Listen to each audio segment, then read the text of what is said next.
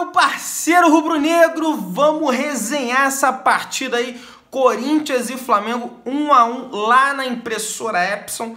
Vamos resenhar aí. O Gabigol empatou aí aos 86 minutos de jogo, quase acabando apagando. O, o, o funcionário do Corinthians estava apagando a luz do estádio. O Gabigol foi lá e fez o gol. Tava ou não tava, vai ou não vai. Aquele negócio de vá, fiquei apreensivo pra caramba na, assistindo o jogo. Cara, até em primeiro momento eu achei que o Gabriel não tinha feito o gol. Mas enfim, vamos resenhar, vamos falar sobre tudo que aconteceu nessa partida de hoje. Então, ó. Chama todos os teus parentes e amigos rubro-negros para vir aqui pro canal Mengão Melhor. Manda ele se inscrever no canal. Você aí que tá me assistindo também não é inscrito no canal. Tô vendo você, tá? Pensa que eu não tô te vendo. Não, tá vendo o canal e não é inscrito. Se inscreve aí no canal, acione o sininho da notificação para você ser notificado sempre que tiver um vídeo novo. E arrebenta esse like, amassa o like que tá fortalecendo aqui o canal Mengão Melhor. E vamos resenhar. Assista a nossa resenha até o final para você resenhar aqui sobre essa partida entre Gambazada e Flamengo lá na Arena Impressora Epson. Bom, rapaziada, primeiro de tudo, achei que a atuação do Flamengo foi muito abaixo hoje muito, não sei se é cansaço do jogo de, de quarta-feira, não sei muito bem, até porque tinha muitos jogadores que foram poupados, o próprio Ilharão não foi titular na quarta, o próprio Rodinei não foi titular na quarta, né? Tivemos o, o Gerson também, que chegou agora, até acho que que o Gerson pode entregar agora, porque o jogador estava mais de um mês, né? Ele estava de férias, até acho que ele não fez uma má partida, né? Eu queria salientar principalmente a partida do René, René mal demais no jogo hoje, não conseguiu iniciar as, as jogadas de bola, até desarmou bonito ali é, no final do jogo, um jogador do Corinthians, não estou me recordando, mas no início do jogo foi muito abaixo realmente, Rodinei lamentável, errando passes bobos, é, o Vitinho iniciou o jogo marcando muito, mas não criava nada lá na frente. O Gabriel muito perdido entre os dois zagueiros do Corinthians. O Diego não conseguia dar enfiada de bola também para o Gabriel, não conseguiu desempenhar a sua partida hoje. Cuejá também, como sempre, fez ali mais o feijão com arroz na contenção, marcando bem, fazendo as devidas coberturas ali do Ilharão.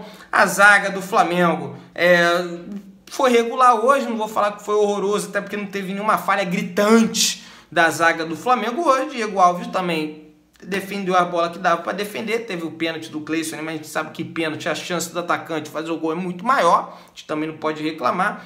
E o jogo do Flamengo foi muito abaixo. Hoje foi muito fraco o jogo do Flamengo, mas também não, não vamos só tacar pedra no time, entendeu? É normal, o time tá cheio de, de desfalques. Tem o desfalque do Arrascaeta, que para mim é um dos melhores jogadores do time, né? Do time do Flamengo. Teve o desfalque do Everton Ribeiro, também, que é um dos melhores jogadores do time. Everton Ribeiro sentiu o pé esquerdo, por isso que não veio jogando hoje. O Rafinha certamente foi poupado para o próximo jogo contra o Emelec às nove e meia da noite pela Copa Libertadores, porque, gente, me desculpe aí quem gosta do Rodinei, quem ama o Rodinei, mas Rodinei não tem nível técnico para jogar no Flamengo, né? Nem aqui nem na China. O time que teve Leandro, Leonardo, é, Júnior, pô, vários. Até o Juan, porra, que jogou no Flamengo, o Léo Moura, tem um lateral como o Rodinei, é um desaforo pro torcedor do Flamengo, com todo respeito ao Rodinei. Mas essa é a minha opinião. É, Acredito até que se tivesse ter um vencedor no jogo, teria que ser o time do Corinthians, né? Tô até com o scout da partida aqui. É, vamos dar uma olhada nos chutes. O Corinthians deu 13 chutes no gol, o Flamengo deu 6 chutes a gol, né? Sendo que três foram no gol e dois do Corinthians foram no gol. Também o Corinthians não amassou o Flamengo, não, mas fez uma boa partida. Acredito que jogou melhor que o Flamengo. Teve a questão do VAR. Gente, o que tá virando o árbitro de vídeo no Brasil? Me diz, torcedor. Meu irmão, eu quero gritar gol. Eu não posso mais gritar gol. Eu não posso mais gritar gol. Sempre agora que o cara faz o gol, eu tenho que esperar jossa do VAR. Tudo bem, esse lance, pô, tava mega difícil, foi o calcanhar do jogador do Corinthians deu a condição pro Gabriel tá fazendo gol, mas a demora é um absurdo. Demorou quase cinco minutos pro cara validar o gol do Flamengo. E, sempre ratificando, o lance estava tava dificílimo. Eu, de primeiro momento, até achei que estava impedido. O Gabriel insistiu com o juiz ali que não estava impedido. Aí o juiz ficou mais de quase cinco minutos no VAR para ir, vale, os caras estão olhando da câmera. Não pode demorar cinco minutos para validar um gol.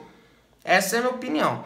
É, acredito que um resultado, é, pelas circunstâncias que o jogo apresentava ali, o time do Corinthians fazendo uma boa partida, torcida do Corinthians encheu a arena impressora Epson. Acredito pelas um jogador a menos, o Berril foi tudo bem, ah, tá no final do jogo, mas pelas circunstâncias da partida, eu até acho que foi um bom resultado do Flamengo. O Flamengo reduziu em mais um ponto agora a distância do Palmeiras. Tem o Santos agora, que está em mesmo número de pontos do Palmeiras. O Santos tem 26 pontos né, na tabela do Campeonato Brasileiro, mas já reduziu. Já reduziu em 3 pontos em relação ao que era antes da parada da Copa América. Agora é continuar. O próximo jogo do Flamengo pelo Campeonato Brasileiro contra o Botafogo no Maracanã, que certamente vai estar tá lotado de torcida do Flamengo.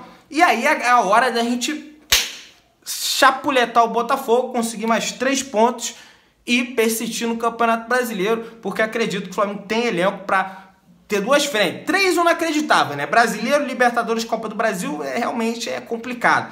Mas agora, na Libertadores e no Brasileiro, dá pra gente ir, ir, ir e ver aí, decidir qual título a gente vai levar no final e que sai levar os dois. Já pensou? O Flamengo campeão Libertadores? Aí, meu irmão, aí eu já, já, já zerei a vida, né? Zerei nada. Quero ganhar vários Libertadores ainda pela frente.